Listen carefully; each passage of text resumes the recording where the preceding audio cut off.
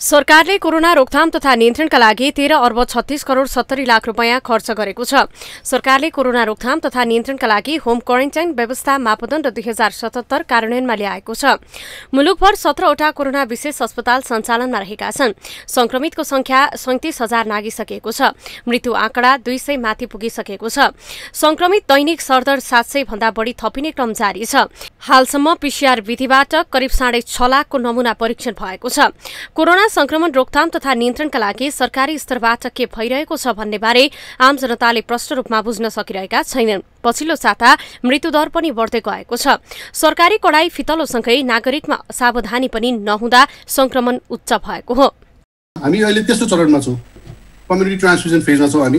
हामी तेस्रो चरणमा छौँ। हेर्दाखेरि सिचुएसन अलिकति डेन्जरस छ।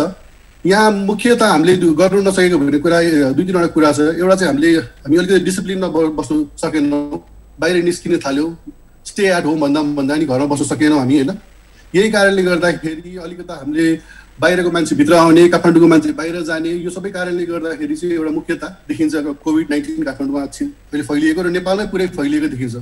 लामो लकडाउनमा सरकारले चाहेको भए निकै काम गर्न सक्थ्यो। परीक्षणको दायरा बढाउने आवश्यकता अनुसार क्वारेन्टिन क्षमता बढाउने संक्रमितलाई व्यवस्थापन गर्ने लकडाउन पछिको अवस्थामा के कस्तो सावधानी अपनाउने विषयमा सरकार चुक्दै आएको छ। संक्रमितको कन्ट्र्याक्टमा आउनेलाई पहिचान गर्न नसक्नुले जोखिम उच्च बढेको हो।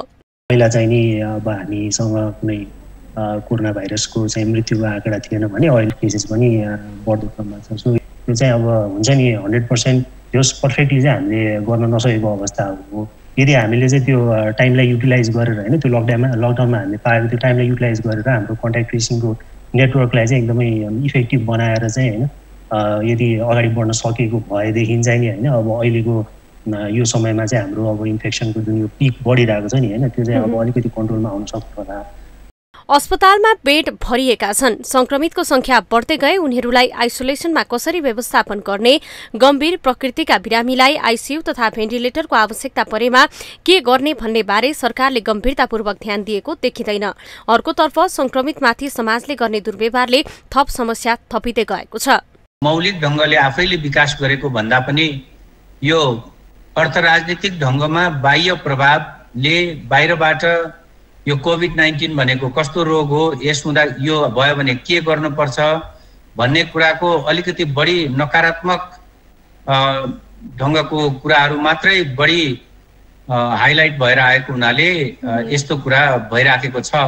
सरकारको दीर्घकालीन नीति योजना र रणनीति आउन सकिरहेको छैन। अर्कोतर्फ नागरिकको ज्यादतीले संक्रमण बढ्दै गएको छ। लकडाउन अन्त्यपछि संक्रमणको दर वात्तै बढेको तथ्याङ्कले दर्शाउँदछ। यही अवस्था रहे कोरोना विरुद्धको लडाईँ जित्न मुस्किल त हुँदैन यो प्रश्न उठ्न थालेको छ। माउन्टेन टेलिभिजनका लागि स्वास्थ्य ब्युरोको साथमा विनिता केसी काठमाडौँ।